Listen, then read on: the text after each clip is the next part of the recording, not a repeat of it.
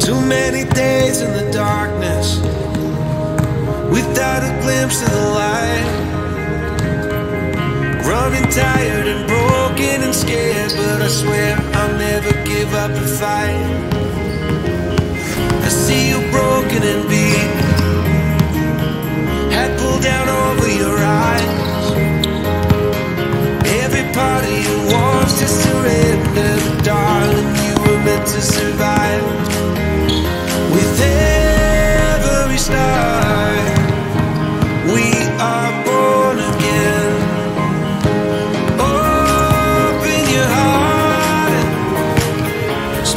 time that you're